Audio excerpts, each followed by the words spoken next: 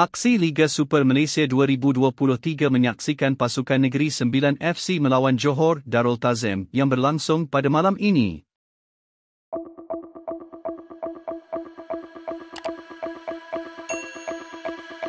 Perlawanan ini merupakan peluang terbaik buat pasukan negeri 9 FC bagi meraih tiga mata pertama di gelanggang sendiri.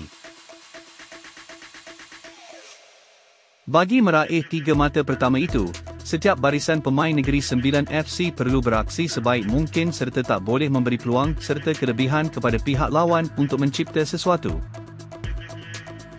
Pasukan Negeri 9 FC menghadapi tugas sukar berdepan dengan penyandang juara Liga Super itu.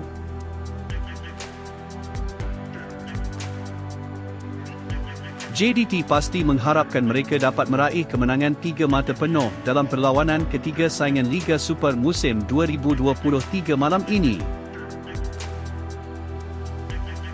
Perlawanan ini juga menjadi peluang bagi Negeri 9 FC untuk membuktikan mereka mampu mencipta kejutan melawan JDT.